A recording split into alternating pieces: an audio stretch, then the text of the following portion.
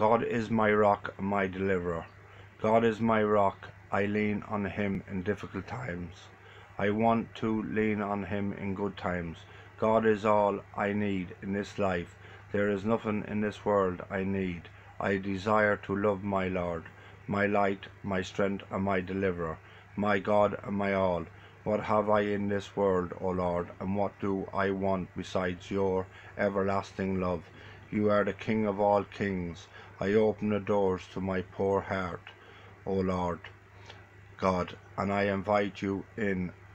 I am not worthy to receive you, O Lord, but only say the word, and my soul shall be saved. I give over my life to you, O Lord. I want you to be my Lord God and my Saviour.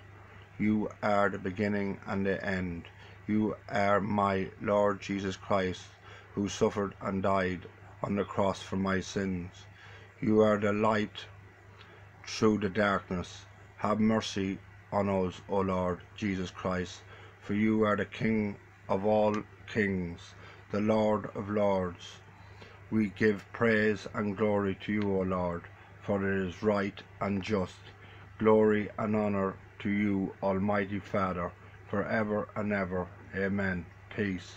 David Lawrence, the 12th of the 2nd, 2016.